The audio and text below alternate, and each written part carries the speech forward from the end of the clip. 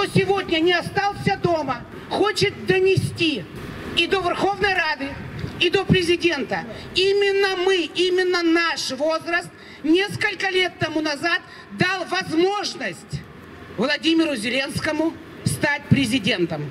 В первый же день, принимая присягу, кладя свою руку на главную книгу Украины, он обещал быть на страже и защищать все права каждого человека от маленького городка до многомиллионников.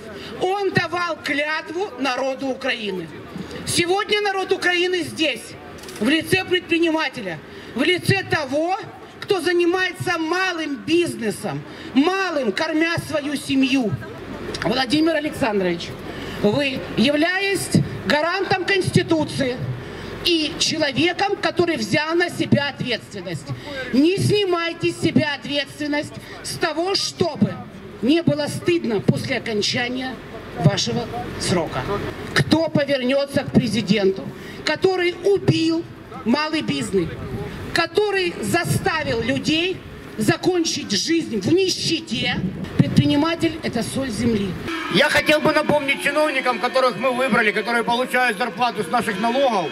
Я думаю, они не с того начинают. Может, они наведут порядок на границах, в коррупции своей, там, где э, взорвавшиеся, заворовавшиеся чиновники суют по карманам не только наши налоги, но и серые схемы, которые они э, лоббируют, контролируют.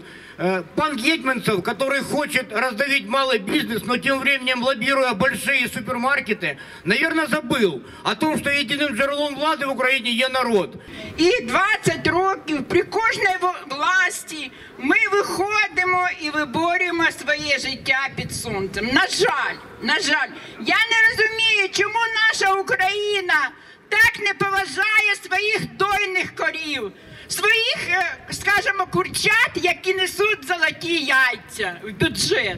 Я зовсім для мене все не зрозуміла. От я сам коренной, у нас э, бюджет города за э, 2020 год составил 14 миллиардов гривен, а ФОПы только единого податка заплатили 2,5 миллиарда гривен. Это не, не считая там НДФЛ, всякие там э, налоги на землю и тому подобное. Но какое было мое удивление, когда я поехал на Западную Украину, и оказывается, что на Западной Украине податки в місцеві бюджети от ФОПов доходят до 70%. Я был просто в шоке, ребята. Это колоссальная сумма. И э, я считаю, что нас необходимо просто лелеять и оберегать. А сколько вы заплатили налогов за 2020 год? Таблички до горы! Таблички до горы! Таблички 30 тысяч 340 гривен! 30 тысяч 240! 100, 149 тысяч 760 гривен мной сплачено. 119 тысяч 880 гривен. 30 тысяч 240 гривен.